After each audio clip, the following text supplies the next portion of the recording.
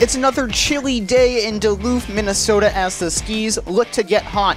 The Duluth Huskies take on the Rochester Honkers, another two game series at home. I'm Adam Cohen, and joined alongside my good friend and broadcast partner John Kuziej back in the booth on TV. The Huskies yesterday, they lost 8 to 1 against the Eau Claire Express to split a home and home series. And John, we're seeing more of the same a lot of walks and a lot of errors. Yeah, well, first off, Adam, it's great to be back in the booth with you.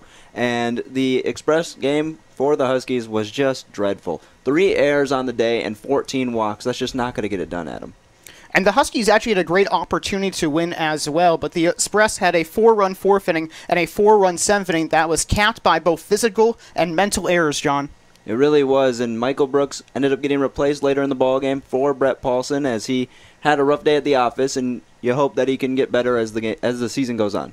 This is starting to look like more of the same for the Huskies. The Huskies have taken the first game in the previous two series, including the one against the Rochester Honkers. They won game one, but lost game two after they originally jumped out to a 3 1 lead. Again, just more of the same for the Huskies in that game with errors and walks leading to the Rochester Honkers being able to come back. Caden Griffin had a really Jekyll and Hyde type performance where he didn't allow a hit for a long time, but he had walked eight batters, and it just led to the Rochester Honkers getting that confidence to go forward.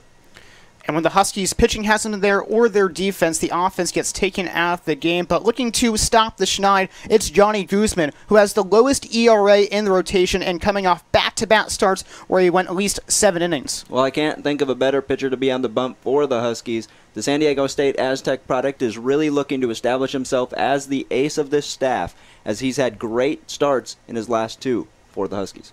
The Huskies will look for another phenomenal start from Johnny Guzman. Don't go anywhere. You're watching Duluth Huskies on the Northwoods League Baseball Network.